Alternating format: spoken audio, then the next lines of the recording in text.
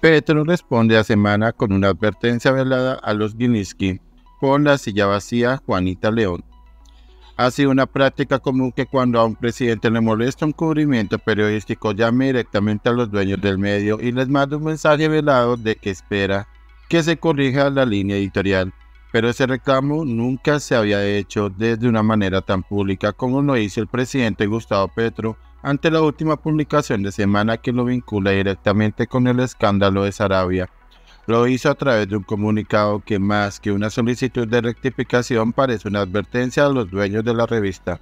La revista Semana publicó el testimonio de alguien que asegura haber hablado íntimamente sobre todo este escándalo de las chuzadas con el coronel Oscar Dávila, adscrito a la seguridad del presidente. Semana dice que la fuente está plenamente identificada, pero le guardan la reserva de su identidad para protegerlo. Daela murió el viernes por la noche en circunstancias extrañas que Petro atribuyó a un suicidio, antes de declarar en la fiscalía sobre las interceptaciones ilegales a dos empleadas de Laura Sarabia, la secretaria privada de Petro. Entre las claves del testimonio que Semana no contrasta en la historia con otras personas o fuentes, el testigo dice que la plata que se perdió en la casa de Sarabia era en realidad del presidente Petro. Afirma además que el monto era de 3 mil millones de pesos en efectivo y que estaban metidos en cinco maletas. Según dice el testimonio, Petro le había pedido a Sarabia que le guardara en su apartamento. La respuesta del presidente, que está en Alemania, se produjo a primera hora de la mañana. No lo hizo vía un trino de Twitter como suele hacerlo, sino a través de un comunicado en el que no solicita una rectificación de la revista ni responde a las acusaciones concretas en su contra ni aporta nueva información.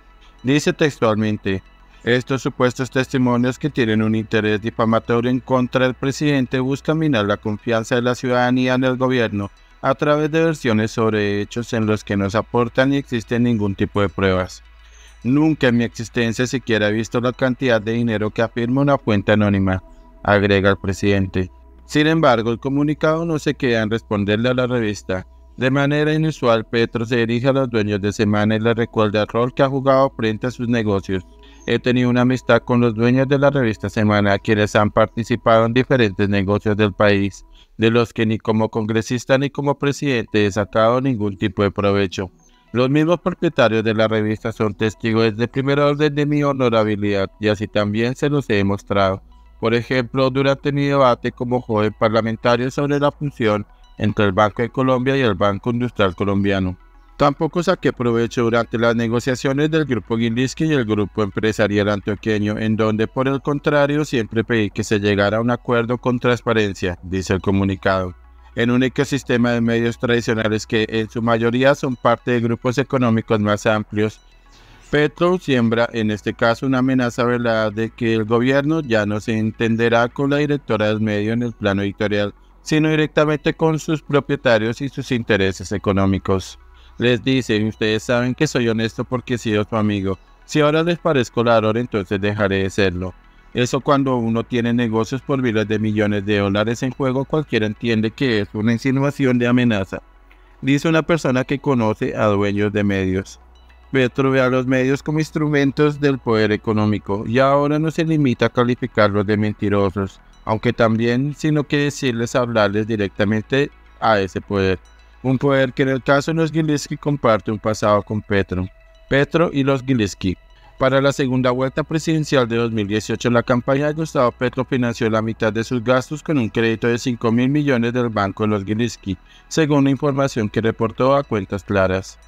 El mismo banco ya había sido un financiador importante en 2010. Un tercio de todos sus ingresos de campaña como candidato del Polo fue un crédito del Banco Sudamérica de más de 900 millones de pesos. En 2001 los que contactaron a Petro a través de Bernot para que como parlamentario hiciera un gran debate en el Congreso. Petro criticó las decisiones de las autoridades de la época que favorecían a GEA en su pelea contra el Banco Industrial Colombiano de los Gilinski. Ese debate selló una amistad entre Petro y Jaime Gilinski que Petro recuerda en su comunicado. Ya en la presidencia y pese a que en campaña semana se inclinó abiertamente por Rodolfo Hernández, Petro no hizo pronunciamientos públicos frente a la movida empresarial más grande del momento, pero sí tomó la decisión atípica de mantener a Jorge Castaño en la superintendencia financiera durante ocho meses, una movida que era guiño para los Gilinski. Castaño venía de ser un funcionario de Iván Duque y había sido nombrado por Hernández como su posible ministro de Hacienda. Durante el gobierno de Duque fue el encargado de aprobar las OPA que lanzaron los Gilinski y según denunció Daniel Coronel, lo hizo manteniendo en secreto el plan de la toma Steel, lo que habría favorecido la posición de los banqueros caleños. Y es precisamente la alusión a su rol neutral en la última pelea de los Gilinski frente al GEA, lo que se puede entender como una advertencia dado el papel de regulador que tiene el gobierno en los grandes negocios. La adquisición de una mayoría de Nutresa por parte de los Gilinski a cambio de salir de sus acciones Censura y Argos, que se pactó hace unas semanas, necesita el visto bueno de tres superintendencias, la financiera, la de sociedades y la de industria y comercio. En esos puestos están personas que nombró directamente Petro.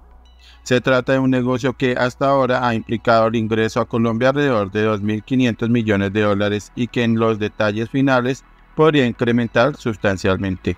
En las próximas semanas se verá si los empresarios entienden el mensaje del presidente y favorecen la amistad con él por encima de la independencia editorial de la revista, lo que implicaría un frente de tensión con su directora Vicky Ávila. Si no lo hacen, está por verse si el presidente pasa de sus ataques verbales a los medios a tomar decisiones contra los intereses empresariales de sus dueños. De cómo se resuelva esta coyuntura está en juego no solo el rumbo futuro de semana, sino también de buena parte de la prensa tradicional del país, que tiene intereses económicos susceptibles de ser afectados por decisiones del gobierno. Como le dijo un directivo de otro medio a la silla, este es un mensaje para los Gilinski, pero tiene un efecto perdigón.